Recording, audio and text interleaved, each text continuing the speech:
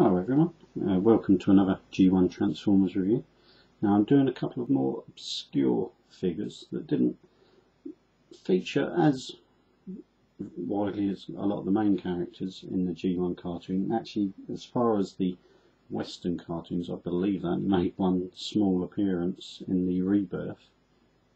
Uh, it's about the battle uh, on Cybertron as the sort of Rebirth storyline was starting. Um, these guys are, of course, the Autobot clones. Now, their names are Cloudraker, which is this jet on the left of the screen, and Fastlane, which is a kind of futuristic car come Cybertronian dragster. Um, I will point out at the start of this, you'll notice that his guns on the side there are very white. They are actually guns from a knockoff version of these two uh, but it's actually perfectly in scale so I actually was able to use them for him until I can actually get the proper grey ones.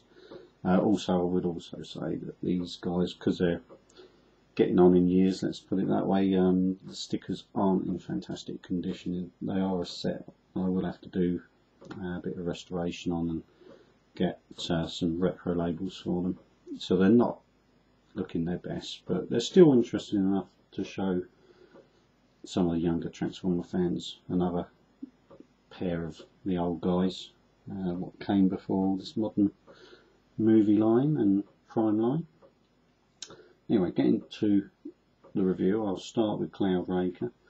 Now, if I move Fastlane out of the way, now Cloudraker is, as I said, a bit of a Cybertronian futuristic sort of jet, a little bit of blue paint app, pick out the sort of cockpit detail, but yeah, not the greatest of alt modes, but not bad. Uh, it comes with two red sort of guns, lasers, what pegged in underneath. Uh, no undercarriage as such, so it's a pretty basic jet mode. Uh, you get some black wings at the back, and a little bit of moulding detail on the way round. The sticker details here and there, like I say, they are a bit tatty on my particular pair here, but uh, yeah, it's quite nice. A little bit sort of Jetfire-esque with the sort of engines on the top and the sort of general colour scheme of him. Anyway, you unpeg his two weapons, which are handed, left and right. I'll just show you close up those two. As you see that they are pairs, they are handed. And these are the actual proper original ones. Now, for his transformation, as with a lot of G1s, is pretty basic. Now, the first thing to do is to take the nose of the jet and fold it away, so it's underneath, like so. And then that's got to be pushed, and it's quite a firm uh, bit of effort to actually get this guy to transform this part. You need to push it up and right back like so, and then the windscreen sort of fits into that little part of the main bodywork there underneath. You then need to swing the sides with the black wings round and fold those round as you go so that they're behind what is of course the leg and then just flip up the orange part to become the foot. So it's quite a basic transformation there and then you can pretty much see there's his legs and his feet and then with these top engines you fold them out to the side but you also got to untab from inside the back of them. There is a little catch it is a bit fiddly to get to I have to say. And they are tight. But they do actually give you a proper little hook so you can get your nail into on the fist and you just swing out the fist like so. So a little bit fiddly because you've literally got to get into an area you can't get to easily. But yeah, you just fold it out of the back so it's a hollow arm, forearm. Swing it round and out, and you end up Fastlane. Uh, was Cloudraker, sorry. That's because they're clones, they're confusing me. Now, they do come with two rub signs, which both the Autobot versions and Decepticon versions do. Now, one is, of course, their Autobot logo, which is the lower one, but each of them do have a separate rub sign. Now I think Cloudraker's one is a bit past its prime, shall we say. But it's just about showing a sort of like a winged sort of emblem on there, but it is a bit sort of like, you know, it's had its day really, that rub sign. Um, not one you can obviously replace that easily because of course it's unique to this figure, so a bit of a pain that one, but very nice little figure, um, quite a nice little head sculpt. Uh, articulation due to transformations is, let's put it this way, it's a G1 brick.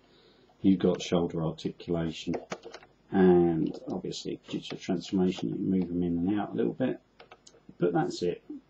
Uh, there is no hip articulation because of the way the legs swing around, and no knee articulation. So yeah, you're stuck with just the arms, and even the head doesn't turn on this guy either. So I'm afraid he's just sort of like a figure you could just have on guard. He's not really going to be much help in a fight.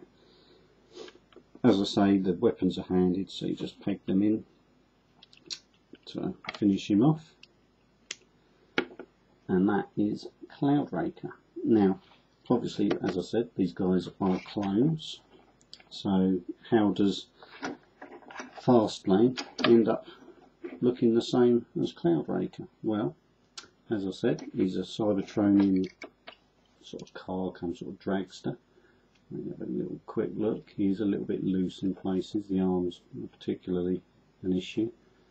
And as I say, the guns are from a KO, so they should be the same grey as the legs. So that's just one thing. And it's sticker details on the wheels where would have been quite nice if that had been a bit of chrome, but never mind. But yeah, so you've got two large wheels at the front, uh, at the back, sorry, and one middle wheel at the front. I think you can pretty much see where his transformation lies. But before we start, let's pop off the weapons. Now, he's even simpler to transform. There is first thing you've got to do is slide the legs forward, which because they're a little bit loose, they already want to do that. Fold the two red pieces up to become his feet. And then you've got the same issue as you fold these sort of engine parts round on top. They fold the rear wheels all in together. And then you've got to move the arm forward and flip out the fist. Now, as I say, these guys are a real pig to get to these fists because of the way it actually moves. It is not an easy place to get to. I might even have to take this off screen just to get something in there. Um, let's see what I've got. Now the best thing I tend to use if you get something stuck like that is a point of a compass because you can get it into the tight area and just start the mechanism moving like so. It's just a case of getting your nail in there. Getting the point into the hole in his fist is also a good bit of leverage point. Flip them round. Now, as I say, they are tight where they're folded in there. So, again, you've got to be a little bit careful you don't cause some damage as you get them out. But they're like so. So once you get it out to that point, you can get your nail in there and flick it round. Bit of a pain, but it's worth noting that it is a good idea to have something on hand to help transform these guys. Flip the arms then round, like so, and obviously you can see where his head is, it's below this sort of rear spoiler, which obviously is to keep the downforce on the back of a dragster. Now what you do is you pull up on the head, which is the base of the spoiler, spin it round 180 and then you just turn the spoiler sort of round so it's not so prominent above his back and that just folds neatly round where the wheels are stored on his back now. As with Cloudraker, unfortunately um, he's only got shoulder articulation really. If you start moving the arms around that way it starts looking a bit weird. So unfortunately no, no more articulation there. He does obviously have a little bit of head articulation, but not a lot because the spoiler is restricted by those wheels. But uh, all in all, a nice looking bot. Now I don't know if this one's gonna. These rub signs are slightly better nick, and if it doesn't look a little bit weird that I'm rubbing the crutch of a robot on live on the internet. Uh, these rub signs are not wanting to play ball just about. It's probably not going to be good enough to actually come out. You just see the dark blue maybe just appearing on his lower rub sign. I'll see if I can get his chest one to go, which of course is more of a land-based rub sign. I'll just see if we can do it. No, it doesn't want to play ball. You've got to understand that these rub signs, if they're 20 plus years old, you're asking quite a lot that a chemical reaction from heat is still going to have some effect on them. So unfortunately, can't really pick that up on camera. But still a nice little bot. And of course, Fastlane can have his weapons pegged in to his fists.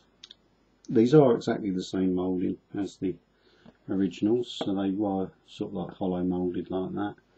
Um, but I think they weren't so much handed, they are just sort of like a copy of each other, so they are just an identical pair.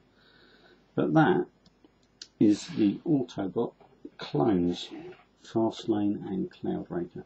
Now, as you can see, once they're in the robot mode, they do look like clones, because from the front, other than seeing a little bit of the spoiler, and obviously their guns, they do look identical.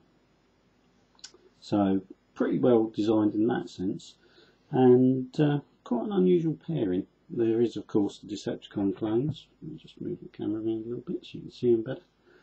Um, again, literally, as, as far as the Western cartoons only appeared in the Rebirth, just for a very short sort of period where I believe, uh, what were they stealing? The Decepticons were stealing a key to the, oh, energy plasma chamber or something like that, which of course the whole Rebirth storyline then ended up going on to the beginnings of uh, bringing back, um, I think it was bringing back the Optimus Prime, but in the Power Master version, um, having the Headmasters and the Target Masters as they all went to Nebulos, and of course bringing in characters such as Scorponok and Fort Max. So it's quite a pivotal sort of storyline and actually one that sticks in a lot of minds of the G1 sort of fans who were around at that time.